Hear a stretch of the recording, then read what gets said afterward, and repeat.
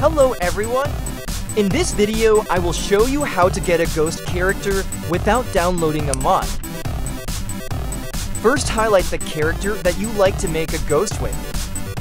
Next, you need to turn off Disable Collision. Here you go!